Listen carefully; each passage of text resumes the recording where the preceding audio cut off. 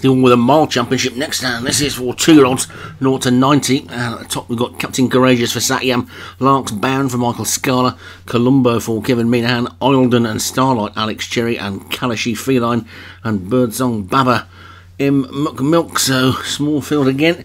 Seems to be the way with a lot of things this week. And I think three or four of these will qualify for the final. So, all installed and ready to go. And away they go. And Birdsong Babble was probably just the first one to poke its head in the lead. It doesn't seem all that keen to be the leader. And now it's Captain Courageous and Columbo who are going to dispute the lead. But Captain Courageous has won that battle and has quickly gone two or three clear from Lark's Bound, who's now bound through into second. Then comes Starlight in third. Columbo is back in fourth. And then Kalashi Feline with Birdsong Baba and Oildon on the outside. So Already racing down to the final six furlongs then, and Captain Courageous is in the lead from Lark's Bound second. Starlight is in third, and there's a big gap back to Oildon. And Columbo with Kalashi Feline and Birdsong Babada back too. So Captain Courageous is then in the lead. Satyam seemingly being able to remain of the handicapper for most of the season, rattling up the numbers in these low grade handicap wins Satyam. I'm sure the handicapper will catch up with him before too long, but it's Captain Courageous in front still from Starlight in second.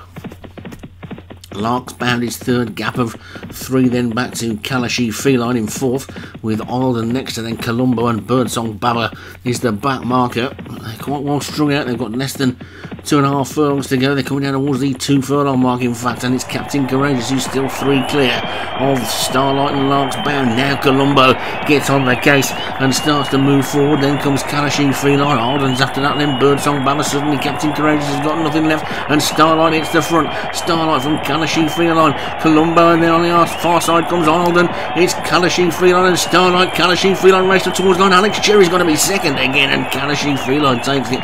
Starlight second, Third, then Captain Courageous and Lark Band. And it's, I think that could be another one for M. McMilk, a quick fire double there.